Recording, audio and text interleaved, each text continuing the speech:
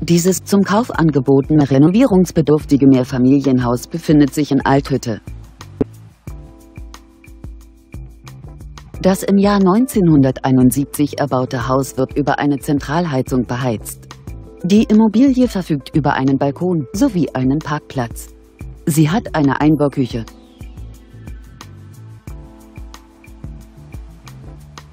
Auf einer Grundstücksfläche von ca. 266 Quadratmetern weist das Objekt eine Wohnfläche von ca. 178 Quadratmetern auf. Der Kaufpreis beläuft sich auf 199.000 Euro. Seeimmobilien Management GmbH beantwortet gerne Ihre Fragen.